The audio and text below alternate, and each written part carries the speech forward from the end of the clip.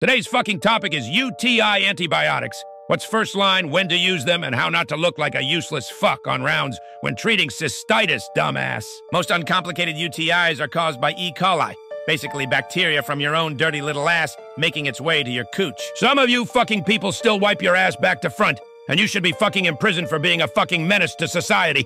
Nitrofurantoin is a first-line drug for uncomplicated cystitis caused by caca.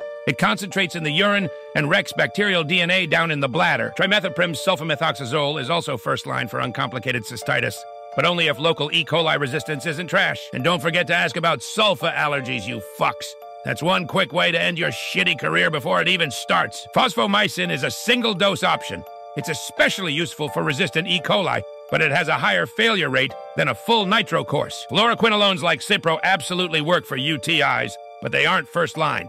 They're saved for pyelo and complicated cases because of resistance and nasty-ass side effects. Oral beta-lactams like amoxicillin clavulanate or cefpodoxime can treat UTIs, but they're alternatives, not top picks, dumbass. Like side chicks, not your main hoe. So, to remind your dumbass again, big three are nitrofurantoin, trimethoprim sulfa if resistance is low, or fosfomycin if you need a fucking backup. Oh, and support the page by clicking subscribe in the bio. Don't be an ass, and help me make more vids for all you fucks.